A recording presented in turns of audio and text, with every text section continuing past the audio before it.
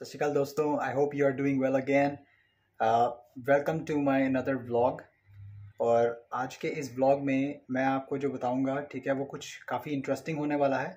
और साथ में आपको मैं to previous video continue to the previous video मैं आपको इसमें ये बताने वाला हूँ कि आप किस तरह से uh, इंडिया में ही फॉरेन एक्सचेंज लेके यानी कि यू आई धीरम्स जो कि यहाँ की यहाँ की जो करेंसी है उसे लेके कन्वर्ट करके बेस्ट रेट में अपने पैसे बचाते हुए और प्लस बेस्ट फ़्लाइट टिकट सब बुक करके यहाँ पे आप किस तरह आ सकते हैं।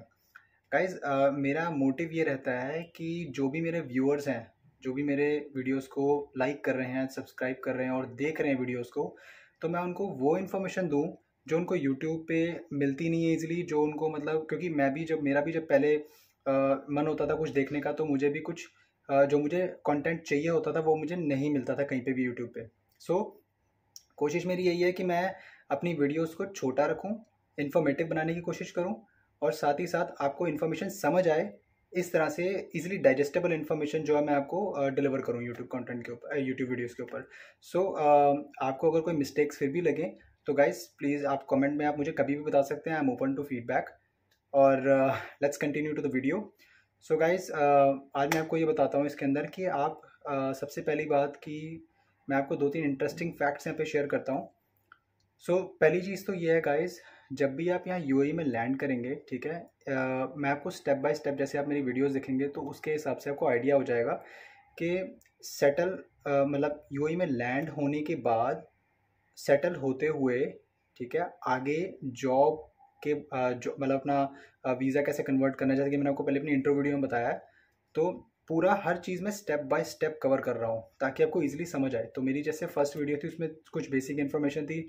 सेकंड वीडियो में गाइज़ मैंने आपको बताया कि आ, किस तरह से आप जो है मतलब यहाँ पे आएँ है ना और सेटल हो जाएँ है ना। और अब आ, ये जो थर्ड वीडियो मेरी होगी फोरेक्स के बारे में होगी और फ़्लाइट इन्फॉर्मेशन के बारे में होगी।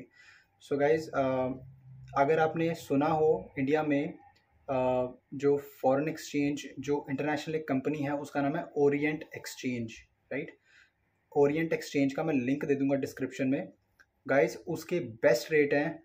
बेस्ट रेट चाहे आपको डॉलर लेने हैं दिरम्स लेने हैं, कुछ भी लेना है, आप कहीं पे भी जा रहे हैं अगर, ठीक है? तो ओरिएंट एक्सचेंज से लीजिए। मैं कोई एंडोर्स नहीं कर रहा हूँ इसको ब्रांड को बट मैंने भी खुद यहाँ से लिया है और मैंने ये रियलाइज़ किया कि इनके रेट्स बहुत ही ज़्यादा अच्छे हैं, बहुत ही चीपेस्ट हैं और बहुत ही अच्छे हैं as compare to any other provider ठीक है? तो मैंने सब रेट रेट्स ऑलरेडी मैंने कन्फर्म किए थे। बट मुझे कुछ अच्छा लगा नहीं। मतलब मुझे ऐसा लगा कि भाई सब सबके एक्सपेंसिव हैं। तो आई थिंक आप वहाँ पे जाके अगर लेंगे तो इनका जो ऑफ़िस है दिल्ली में बारह खम्बा रोड के पास है। सो so, आपको बहुत ही अच्छे अमाउंट आपको बहुत ही अच्छा रेट मिल जाएगा वहाँ पे। सो so गाइज़ इसके लिए मैं आपको बता दूँगा कि मतलब कहाँ डिस्क्रिप्शन में आपको मैं बता दूँगा लिंक वगैरह मैं कुछ सेंड कर दूँगा आपको साथ में आपको दिखा दूँगा कि ऑफ़िस कौन सी बिल्डिंग में कहाँ पे है, ठीक है? बाकी इंडिया में गाइस आप कहीं पे भी रहते हैं ना, किसी भी स्टेट में रहते हैं तो ये ओरिएंट का ऑफ़िस वहाँ पे अवेलेबल है, ठीक है?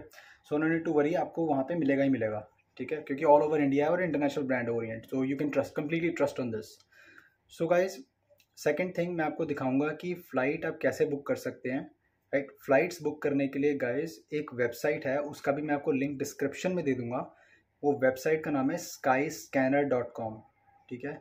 स्काई स्कैनर एक ब्रिटिश कंपनी है गाइज़ जिसके ऊपर आपको चीपेस्ट फ़्लाइट्स कहीं कहीं की भी चीपेस्ट फ़्लाइट्स आपको मिल जाएँगी। चाहे आप यू आ रहे हैं, कहीं पे भी घूमने जा रहे हैं, ठीक है? सो गाइज़ वहाँ पे आप जाइए, अपनी फ़्लाइट्स का प्राइस चेक कीजिए, उसमें चीपेस्ट का ऑप्शन होगा, वो चेक कीजिए और उसके अंदर आपको चीपेस्ट फ़्लाइट मिल जाएगी। ऑल एक थर्ड पार्टी वेंडर है, ठीक है? बट लेकिन अगर आप ट्रस्ट करते हैं मतलब अगर आप, अगर आपको लगता है कि हाँ ठीक है, अगर मैं इसे बुक कर सकता हूँ तो दैट्स अप टू यू ठीक है? मैंने भी एक बार बुक की थी इससे so no need to worry unless की फ़्लाइट कैंसिल होती है ना तो गाइज़ थोड़ा सा एजेंट पे ट्रस्ट करना मुश्किल हो जाता है specific specifically in these times next guys rest is fine क्योंकि ये एक ब्रिटिश कंपनी है तो आपको बताया आप कम्प्लीटली ट्रस्ट कर सकते हैं इस पर कोई दिक्कत वाली बात नहीं है। सो गाइज़ थर्ड थिंग है कि जब आप uh, इंडिया से यू आने वाले हैं ठीक है तो आजकल जो है ना R T P C R का जो चक्कर है ठीक है वो मैं आपको बता देता हूँ क्या है। जब आप फॉरेन uh, एक्सचेंज ले लेंगे जब आप अपनी फ़्लाइट्स बुक कर चुके होंगे राइट तो उसके बाद गाइस आपको जो है एक एक आर टी होता है, वो पाँच सौ रुपये की रिपोर्ट होती है, ठीक है गाइस वो आपको एज़ पर करंट लॉज तो मैं बता देता हूँ फोर्टी एट आवर्स पुरानी होनी चाहिए, ठीक है? कोशिश कीजिए गाइस कि डायरेक्ट फ़्लाइट बुक कीजिए। आप किसी भी स्टेट से जा रहे हैं, ठीक है इंडिया में, किसी भी स्टेट से दुबई, शारजा अबू धाबी की डायरेक्ट फ़्लाइट बुक कीजिए आप, ठीक है? क्योंकि उसमें आपको फिर कनेक्टिंग क्योंकि मेरी कनेक्टिंग फ़्लाइट से गाइज़ मुझे बहुत ज़्यादा दिक्कत हुई। मैं पहले दिल्ली से अमृतसर गया। अमृतसर से फिर मैं दुबई आया बिकॉज़ मुझे कोई बता ही नहीं रहा था कि आपको किस तरह का टेस्ट कहाँ पे चाहिए होगा क्योंकि मेरे फोर्टी एट आवर्स एक्सपायर ना हो जाए तो मुझे वो भी टेंशन थी। सो so, आपको just a just of it कि दो तरह के टेस्ट तो बहुत ही ज़्यादा ज़रूरी है ठीक है? आप आ, आपको एयरपोर्ट से ही करवाना पड़ेगा। एक टेस्ट है उसका नाम है रेपिड पीसीआर वो आपको मैंडेट करवाना ही पड़ेगा उसके बिना आपको अलाउ ही नहीं करेंगे वो। वो अब गाइज़ उसका जो रेट है एयरपोर्ट पे आपको पता लग जाएगा एयरपोर्ट के हिसाब से उसका रेट है राइट सो ये दो जो चीज़ें हैं, ये दो जो टेस्ट हैं R T P C R पाँच सौ रुपये वाला और एक रेपिड पी सी आर है, वो अलग है, वो एयरपोर्ट पे है, ठीक है जो? दो टेस्ट जो है फ़्लाइट में बोर्ड करने के लिए आपको चाहिए और रेपिड पी सी आर की validity six hours prior to flight होनी चाहिए, ठीक है? तो एयरपोर्ट पे मैं सजेस्ट करूँगा कि आप जल्दी से जल्दी पहुँच जाएँ, ठीक है? अपनी फ़्लाइट के कम से कम वो छः घंटे बोलते हैं तो आप आठ घंटे पहले पहुँच जाएँ ताकि आपको लाइन में लग के भी मतलब आपको कोई दिक्कत ना हो। चाहे लाइन ना भी हो बट आपका टाइम बच जाए फ़्लाइट मिस ना हो आपकी, ठीक है? सो गाइज़ आप देख गाइज़ मैं आपको ये बताना भूल गया था कि अगर आप फिर भी कनेक्टिंग फ़्लाइट लेते हैं सो जो आपका डिपार्चर पॉइंट है फॉर एग्ज़ाम्पल दिल्ली आपका डिपार्चर पॉइंट है, और आपकी कनेक्टिंग फ़्लाइट हो रही है अमृतसर से राइट तो आपको जो अपना रेपिड पीसीआर का जो टेस्ट है, जिसकी cost somewhere around Amritsar airport पे है बारह सौ बारह सौ रुपये कुछ आसपास ठीक है?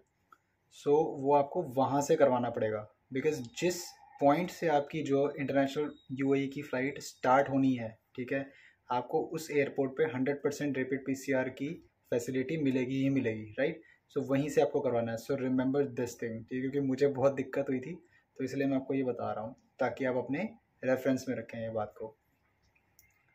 तो गाइज़ इस वीडियो के एंड में मैं आपको सिर्फ़ यही बताना चाहता हूँ कि आ, ये जो मेरी तीनों वीडियोस जो मैंने बनाई हैं ठीक है फ़र्स्ट अपने चैनल पे सो ये एक बेसिक चीज़ है ठीक है कि यहाँ इंडिया से आप कैसे यूएई में आ सकते हैं वीज़ा वीज़ा लेके एक्सचेंज करवा के अपने पैसे वहीं से कैश लेना गाइस ट्रैवल फॉरेक्स कार्ड के लिए कन्विंस करेंगे वो कभी मत लेना ठीक है उसमें दिक्कत आती है चार्जेस होते हैं उसके भी।